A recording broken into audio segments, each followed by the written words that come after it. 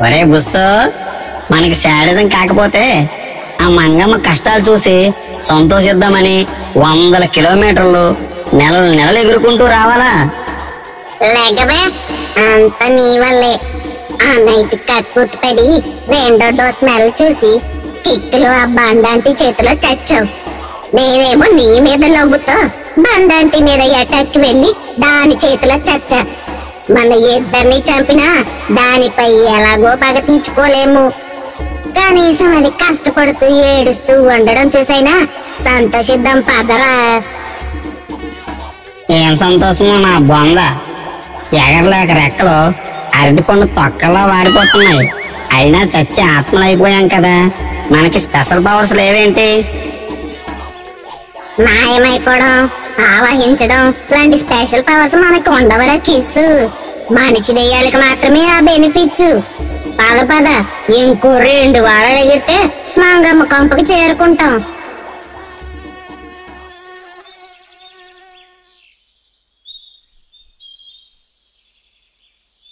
దోమలు అనుకుంటున్నట్లు మంగమ్మ కొత్త కోడలతో బాధలు పడుతూ ఏమీ లేదు. మొదట చిన్న కొడుకు సురేష్ ఎవ్వరికీ చెప్పకుండా సుమని పెళ్ళి చేసుకున్నాడని కోప్పడ్డా సుమ తన మంచితనంతో మంగమ్మకి ఫేవరెట్ కోడలైపోయింది. వాళ్ళు చాలా సంతోషంగా ఉన్నారు. అలా కొన్ని రోజులకి పండగకి సెలవులు దొరకడంతో అన్న రమేష్ సురేష్కి ఫోన్ చేసి తమ్ముడు నేను పండక్కి మన ఇంటికి వస్తున్నాను. నీ పెళ్ళికి ఏమీ గిఫ్ట్ ఇవ్వలేదు కదా. ఏం కావాలో చెప్పు గిఫ్ట్ ఇస్తా. అన్నయ్య నీకు తెలుసు కదా నాకు మ్యూజిక్ అన్నా మూవీస్ అన్నా చాలా ఇష్టమని. మంచి హోమ్ థియేటర్ కొనివ్వు. Okay okay. నేను వచ్చేటప్పుడు నీకు సూపర్ హోమ్ థియేటర్ తెస్తా అయితే.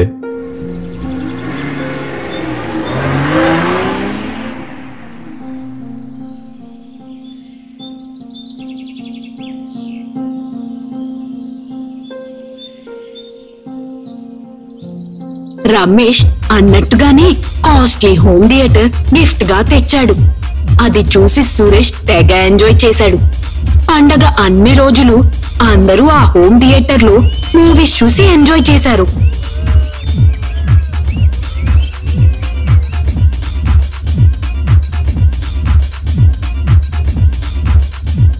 సెలవులు అయిపోగానే రమేష్ వాళ్ళు హైదరాబాద్ వెళ్ళిపోయారు. అంతా బాగానే ఉంది అనుకుంటుండగా ఒక రాత్రి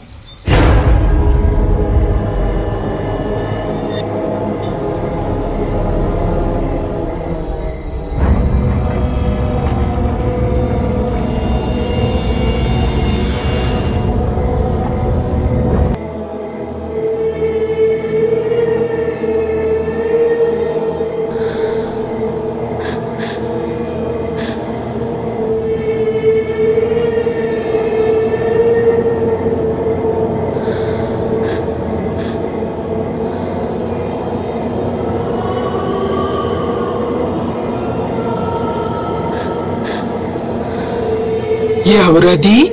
అర్ధరాత్రి ఏడుస్తూ పాటలు పాడుతున్నారు? అని అనుకుంటూ హాల్లోకి వెళ్ళి చూసి అవాక్కయ్యింది ఇదేంటి? ఎంత అర్ధరాత్రి పూట హోమ్ థియేటర్ని ఎవరు ఆన్ చేశారు? అని అనుకుంటూ ఆఫ్ చేసి వెళ్ళి పడుకుంది.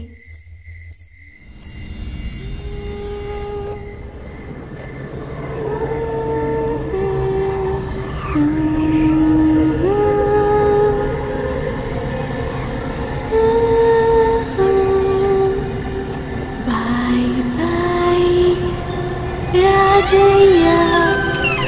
Bye bye. Rajayya. Bye bye.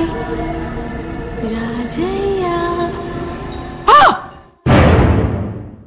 మరుసటి రోజు సాయంత్రం రాజయ్య డ్యూటీ ముగించుకుని ఇంటికి వస్తున్నాడు. చీకటి పడి వీధి అంతా నిర్మానుష్యంగా ఉంది.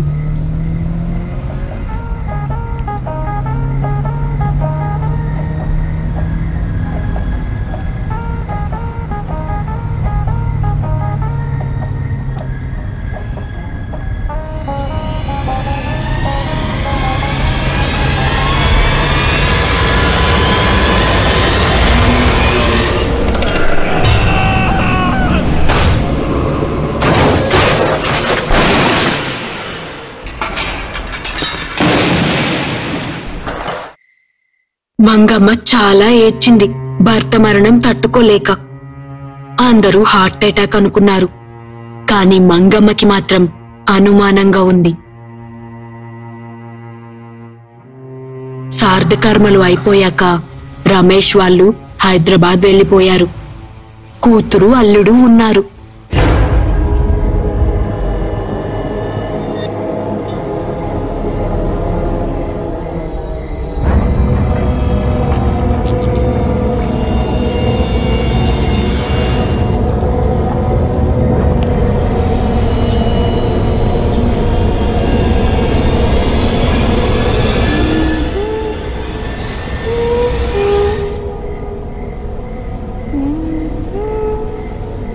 ఇదేంటి దానికదే ఆన్ అయిపోయింది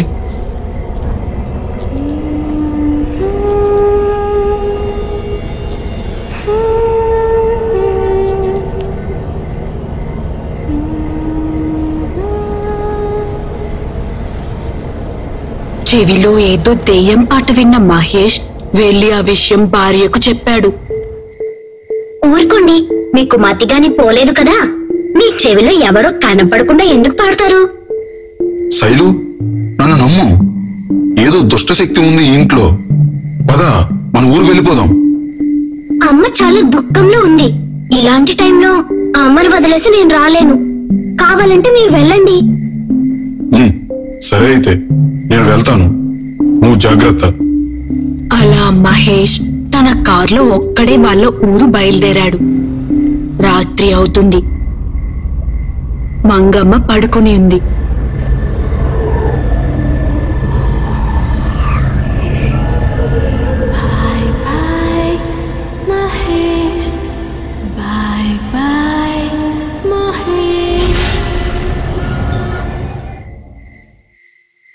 చెవిలో ఆ భయంకరమైన పాటకి నిద్రలేచిన మంగమ్మకి ఆ సౌండ్ హాల్లో స్పీకర్స్లో నుండి వస్తుంది అని హాల్లోకి వెళ్ళింది. ఇదేంటి? ఎంత అర్ధరాత్రి పూట హోమ్ థియేటర్ని ఎవరు చేశారు?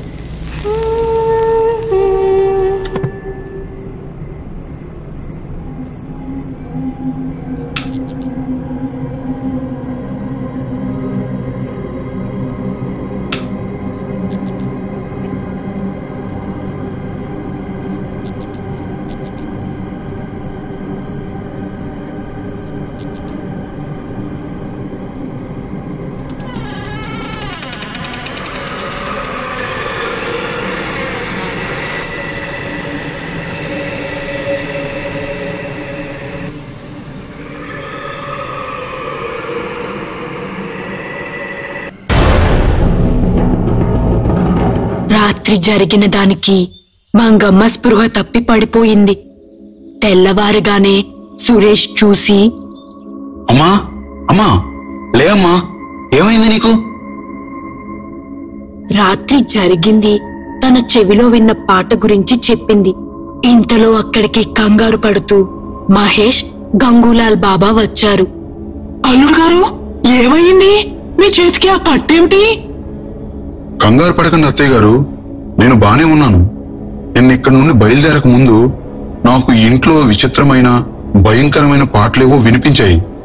ఇంట్లో ఏదో దుష్టశక్తి ఉందని శైలుకు చెప్తే వినిపించుకోలేదు. అందుకే మా గురువు గారికి జరిగిందంతా చెప్దామని మా ఊరు బయలుదేరాను. కానీ మార్గ మధ్యంలో కార్ స్పీకర్స్ నుండి భయంకరమైన రూపం నాపై దాడి చేసింది. అయితే నా మెడలో ఉన్న తాయెత్తును చూసి అది మాయమైపోయింది. నేను ఆ కంగారులో కారుని చెట్టుకు గుద్దేశా. చేయి ఫ్రాక్చర్ అయింది జరిగిందంతా చెప్పి మా గురువు గారిని సహాయం అడిగితే నాతో పాటు వచ్చారు. గంగూలాల్ బాబా ఇంట్లో ఉన్న వాళ్ళని పరీక్షగా చూశాడు. ఎవ్వరిలోనూ దెయ్యం ఆవాహించినట్లు అనిపించలేదు. ఇల్లంతా చూశాడు. కాని ఏ దుష్టశక్తి జాడా కనిపించలేదు.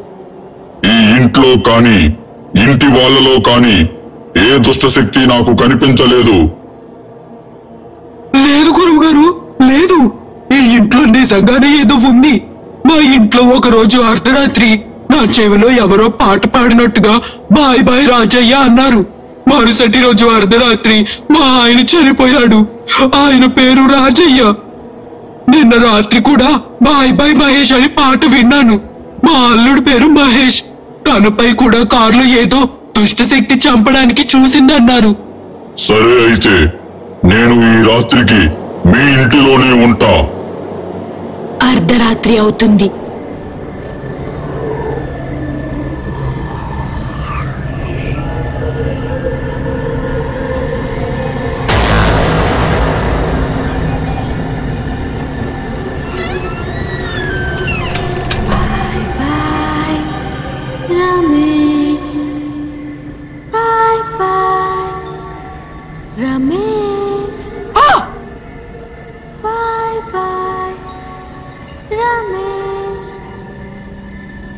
మంగమ్మ ఏడుస్తూ బయటకు వచ్చి గురువు గారు నా కొడుకు రమేష్ పేరుతో పాట పాడుతుంది. వాడికి ఏం జరుగుతుందని భయంగా ఉంది గురువు గారు భయపడకు మంగమ్మ. నీ ఇంట్లో దుష్టశక్తి ఉంది. అది ఎందులో ఉందో కూడా నాకు తెలిసింది. అని వెళ్ళి ఆ హోమ్ థియేటర్ని మొత్తం ఒక మంత్రించిన ముగ్గులో వేసి మంత్రం విభూది చల్లగానే అందులో నుండి నల్లని ఆత్మ లేచి నన్నేమి చెయ్యవద్దు వదిలిపెట్టు నన్ను వదిలిపెట్టు. నిన్ను ఎవరు ఎందుకు పంపారో చెప్పు. అసలు ఎవరు నువ్వు? నేను సబ్దిక అనే ఒక ప్రేతాత్మని. టెన్నిస్లో ఓడిపోయిన నిక్కి మంగమ్మపై పగపట్టింది మీ కుటుంబాన్ని చంపాలి అని వాళ్ళ నాన్న క్షుద్ర పూజ చేసి నన్ను మంగమ్మలోకి పంపాలి అనుకున్నాడు. కానీ అప్పటికే మంగమ్మ హైదరాబాద్ వదిలి వెళ్ళిపోయింది. అది తెలిసి ఏం చెయ్యాలో అని ఆలోచిస్తున్న వాళ్ళకి మంగమ్మ కొడుకు రమేష్ హోమ్ థియేటర్ కొని వాళ్ళ ఊరు తీసుకువెళ్తున్నాడు అని తెలిసి ఆ హోమ్ థియేటర్లోకి నా ఆత్మని పంపాడు. నేను మంగమ్మ కుటుంబాన్ని చంపేస్తే నాకు వాడి నుండి విముక్తి పొంది స్వేచ్ఛగా మా లోకానికి వెళ్ళిపోతా. నేను నిన్ను వదిలేస్తే మళ్ళీ మంగమ్మ కుటుంబం జోలికి వస్తావు. చావు.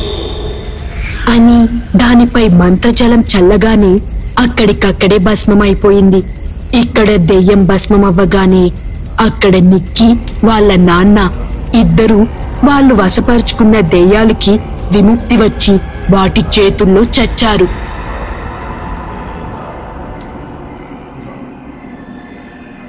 కిస్సు బుస్సు జర్నీ చేసి చేసి చివరకు మంగమ్మ ఇంటికి చేరుకున్నారు. అరే బుస్సు మంగమ్మకి ఏదో ప్రాబ్లం వచ్చినట్లుంది. మొహం సేడగా ఉంది. దాని సేడ మొహం చూస్తుంటే నాకు తెగ ముద్దొచ్చేస్తుంది. మంగమ్మ. లేగబే బొట్టలేని మంగమ్మని చూస్తుంటే నాకు భలే ఫండీగా ఉంది. బండాంటి గురువుగారు ఈ దెయ్యం పీడ పోయినట్టేనా? పోయినట్టే మంగమ్మ. ఇకపై మంచిగా ఉండు. నీ నోటి దురద వల్లే నీకు శత్రువులు పెరిగి నీపై పగపడుతున్నారు. ఇంట్లో ఇంకో రెండు దెయ్యాలు నీపై పగపట్టాయి. జాగ్రత్త. అమ్మ బాబు నాపై పగెవరుకుంటుంది స్వామి? నీకు కనపడరులే. కిస్సు బుస్సు అని రెండు దోమ దెయ్యాలు. నువ్వు కష్టపడుతుంటే చూద్దామనుకునే సాడిస్టు దోమలు. అమ్మో అమ్మో ఆ దోమలు దెయ్యాలై నాపై పగపట్టయ్యా కంగారు పడకు.